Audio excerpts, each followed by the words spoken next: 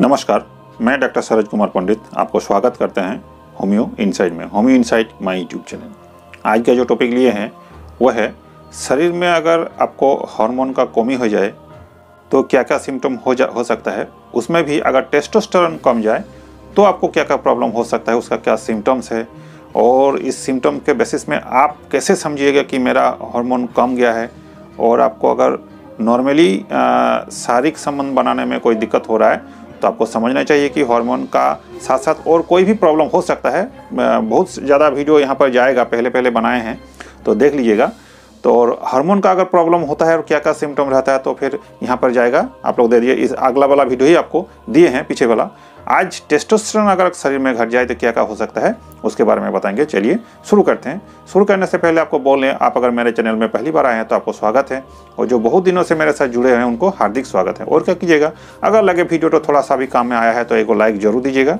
और इसके नेक्स्ट वाला वीडियो अगर आपको चाहिए तो सब्सक्राइब करके रख लीजिए, ताकि हम जब भी वीडियो दें, आपको तुरंत मिल जाए। चलिए, शुरू करते हैं। देखिए एक्चुअली होता क्या है पहले हार्मोन वाला वीडियो में जो इम्बेलेंस हार्मोन है, वो अगला वाला वीडियो जो दिए हैं, उसमें तो बताए हैं कि क्या क्या हार्मोन शरीर के लिए, खास करके मेल में, क्या क्या ज़रूरी होता है और उसमें भी खास है आपका टेस्टोस्टेरोन हार्मोन तो टेस्टोस्टेरोन का काम क्या है? जेनरली जो सेक्सुअली जो आपका शरीर में डेवलप होना चाहिए, एक पुरुष होने में जो जो चाहिए, वो सब इसमें है, जो ये अगर सटीक मात्रा में अगर होगा तो आपको सब कुछ ठीक ठाक बना देगा। जैसे कि आपका रिप्रोडक्टिव सिस्टम जितना है वो ठीक कर देगा, नींद ठीक करेगा, हड्डी बोन अगरा वगैरह वाल, बहुत कुछ ये इस पर निर्भर करता है कि आपका शरीर में कैसे होगा। तो जनरली जब हम लोग के पास कोई पेशेंट आता है तो क्या करते हैं? बोलते हैं कि, सर, हमको ऐसे ऐसे प्रॉब्लम हो गया नया नया शादी की है तो ये प्रॉब्लम हो रहा है। या तो फिर ईडी का प्रॉब्लम हो रहा है, बहुत सारा प्रॉब्लम क्विक इंजेक्शन का प्रॉब्लम हो रहा है। धात का प्रॉब्लम और बहुत सारा प्रॉब्लम लेके आते हैं। तो अगर हम लोगों को लगे कि नहीं, इनका दूसरा कुछ सिम्टम्स नहीं है खास करके अगर हार्मोन कुछ प्रॉब्लम है हार्मोन का तो हम लोग ब्लड टेस्ट दे देते हैं। तो ब्लड टेस्ट में क्या आता है कि अगर टेस्टोस्टेरोन हार्मोन का लेवल 300 मोनोग्राम से भी नीचे अगर पाया जाता है तो आपको जनरली हार्मोन का गड़बड़ है या तो कमी है, ये पता चल जाता है। दूसरा, आपको कैसे समझ में आएगा ब्लड टेस्ट छोड़ के भी कि आपका शरीर में ऐसा ऐसा प्रॉब्लम होता है। सिम्टम क्या रहेगा? देखिए, अगर आपको शरीर में ये सिम्टम आ जाए कि आपका शरीर का जो मसल्स है मसल्स का काम है और शक्ति आपको एनर्जी देना। लेकिन अगर मसल्स आपको घटते जा रहा है और उसका एनर्जी या तो शक्ति अगर भी फिर भी कम हो रहा है मसल्स भी घट रहा है, शक्ति भी घट रहा है तो आपको सोचना चाहिए कि कुछ ना कुछ प्रॉब्लम है। दूसरा क्या है? हड्डी जो है, ये हड्डी का जो एक्टिविटी या क्षमता होना चाहिए, वो बहुत नरम हो जाता है और एक कुछ भी हो, ना हो, वो तुरंत टूट जाएगा। फ्रैक्चर हो जाने का नौबत आ जाएगा। तो भी आपको समझना चाहिए। दूसरा, अगर आप शादीशुदा ज़िंदगी में प्रवेश कर रहे हैं और लगे कि नहीं, आपका जो लाइफ है, शादीशुदा का लाइफ है, वो बहुत अच्छा नहीं जा रहा है, मन इच्छा नहीं हो रहा है तो फिर आपको समझना चाहिए कि कुछ ना कुछ गड़बड़ है। अगर आपके शरीर में अचानक से फैट बहुत ज़्यादा हो रहा है, मोटापन के साथ फैट फैटी बहुत ज़्यादा हो रहे हैं तो पर भी आपको ये संभावना है कि टेस्टोस्टेरोन लेवल का कमी होना।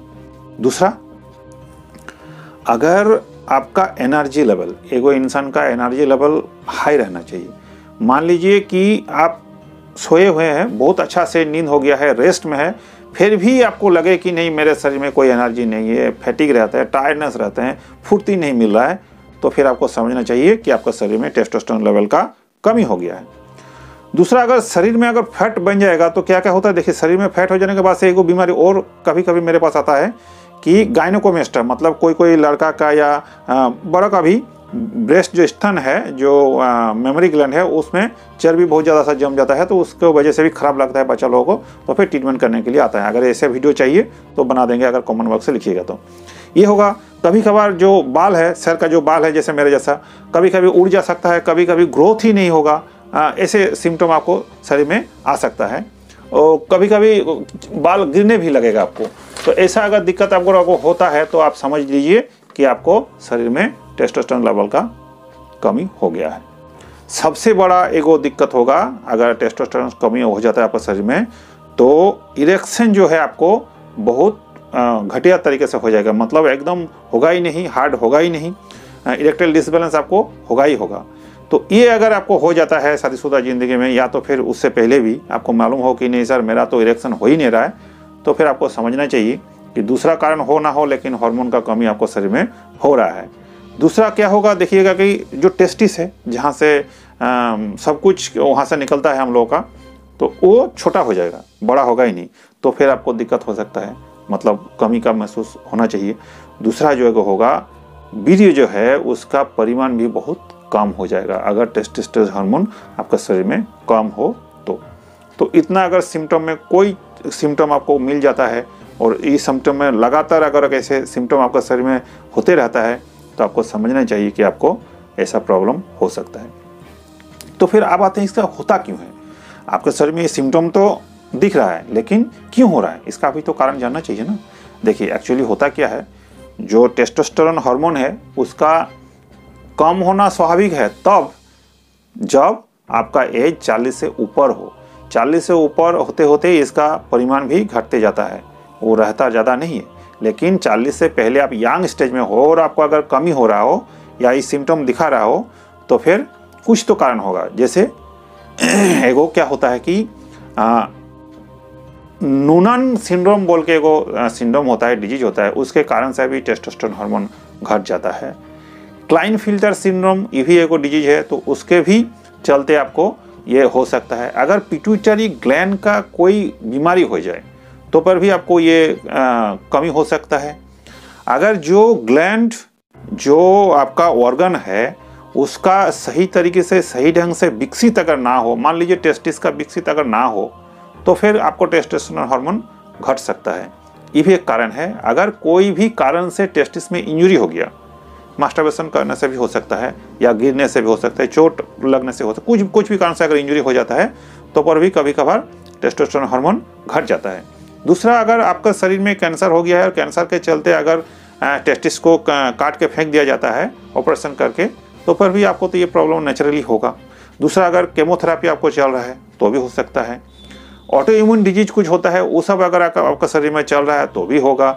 जैसे आपको एंटी डिप्रेशन कोई को होता है ना, बहुत ज़्यादा टेंशन डिप्रेशन वाला वीडियो बहुत सारा जाएगा, यहाँ पर एक एक करके इस रिलेटेड वीडियो जाएगा, आप देख लीजिएगा।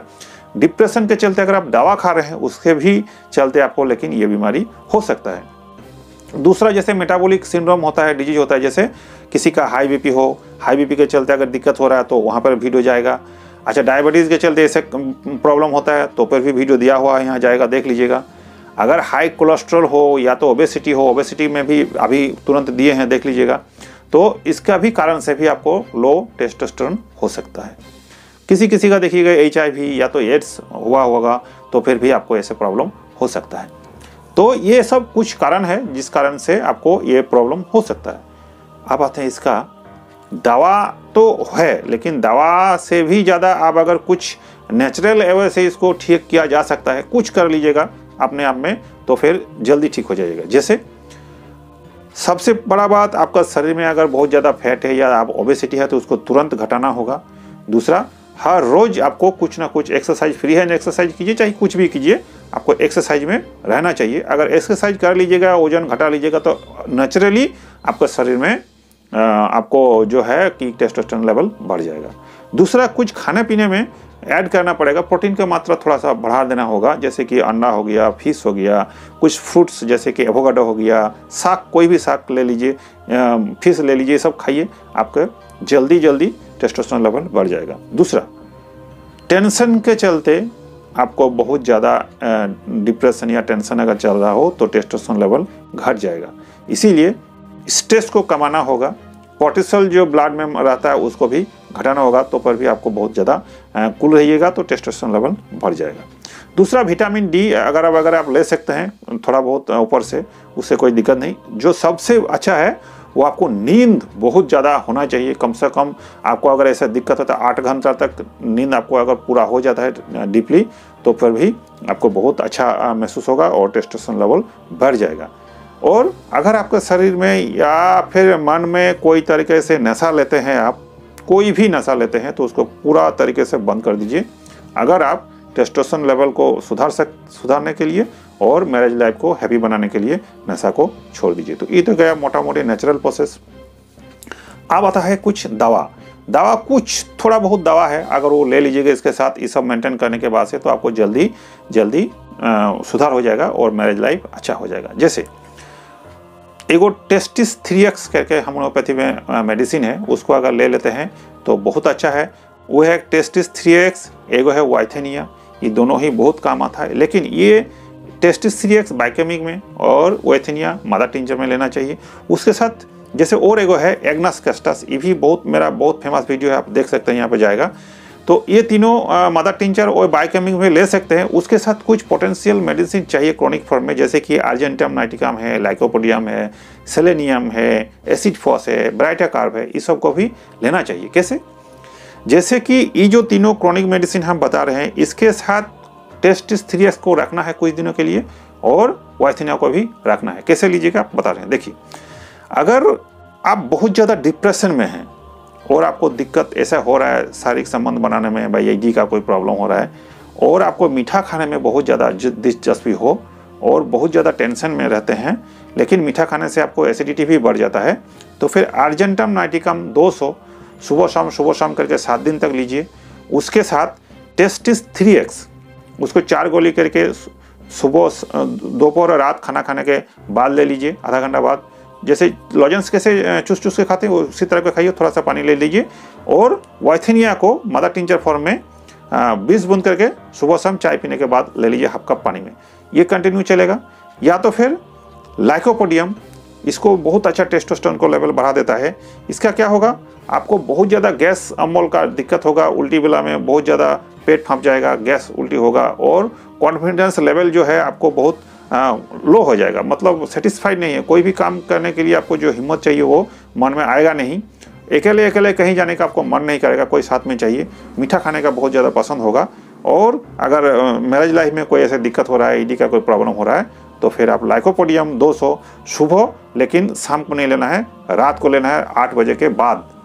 वही सात दिन तक लीजिए, उसको फिर बंद कर दीजिए। और वो जो दोनों आप बोले हैं, जैसे उथनिया और टेस्टिस को इसको भी उसी हिसाब से लीजिए एक महीना तक। लेकिन लाइकोपोडियम को सात दिन ही लीजिए। देखिए, आपको सुधार हो जाएगा। बाद में क्या होगा स्थिति, आप बताइएगा, फिर देखेंगे। एक स्थिति और होगा। एक मेडिसिन है कि अगर आपको शरीर में कहीं से भी बाल जा रहा हो, या झड़ रहा हो, या थीन हो गया, पतला हो गया है ऐसा है, बीरज का परिमाण बहुत पतला हो गया है, ईडी का प्रॉब्लम हो रहा है तो आप सेलेनियम लीजिए सेलेनियम के साथ वो दोनों मिक्स करके लीजिए। सेलेनियम को भी सुबह शाम सुबह शाम करके सात दिन लेना है, लेकिन उससे ज़्यादा नहीं लेना है, और वो दोनों को एक महीना तक लेना है, फिर देखिएगा टेस्ट करके तो आपको बढ़ जाएगा। एक मेडिसिन और है, उसका है क्या, अगर आपको ऐसा महसूस हो कि हम जब भी रिलेशन में जा रहे हैं, जाने के बाद से अगर बहुत ज़्यादा वीकनेस हो रहा हो और आप मेंटली प्रेशर का बहुत ज़्यादा काम करो ऑफ़िस वर्क हो, या तो मतलब ब्रेन का ही ज़्यादा आपको काम है, और हेयर फॉल भी हो रहा है, या तो फिर थोड़ा सा दुबला पतला है तो फिर एसिड फॉस लीजिए दो सौ लीजिए सुबह शाम सुबह शाम करके सात दिन, और उसके साथ वो दोनों अगर ले लेते हैं तो फिर आपको बहुत जल्दी जल्दी रिज़ल्ट आपको मिल जाएगा। एक मेडिसिन और है बहुत जल्दी आपको ठंडा लगने का ए, मतलब एलर्जी है ठंडा का कि थोड़ा कुछ हुआ नहीं हुआ हमको ठंडा लगे सर्दी जुकाम काशी कुछ भी हो सकता है। और बहुत ज़्यादा पसीना शरीर में अगर अगर चलता हो तो उसके साथ अगर हेयर फॉल भी हो रहा हो और समोसा जैसे दिक्कत है इरेक्टाइल डिस्फंक्शन का या तो फिर क्विक इंजेक्शन का अगर अब अगर कुछ भी हो शारीरिक संबंध बनाने वाला जो जो बीमारी है उसके साथ अगर ये सिम्टम हो रहा है तो फिर आप ब्राइटा कार्ब ले लीजिए 200 सुबह शाम करके सात दिन तक लीजिए और बस वो दोनों को ऐड कर लीजिए। तो फिर बहुत जल्दी आपको रिज़ल्ट मिल जाएगा। और इसके रिलेटेड और वीडियो बनाएँगे। और अगर कुछ पूछना हो, कुछ जानना हो तो कमेंट बॉक्स से जाके ज़रूर पूछिए। जैसे सबको आंसर देते हैं, आपको भी दीजिएगा, देंगे। और दूसरा ट्रीटमेंट अगर चाहिए तो वीडियो के बीच में व्हाट्सअप नंबर भी जाएगा। उस पर आप कॉन्टैक्ट कीजिएगा तो मेरा लड़का लोग आप, आपसे कॉन्टैक्ट करेंगे। फिर आपको ट्रीटमेंट भी चालू हो जाएगा। Thank you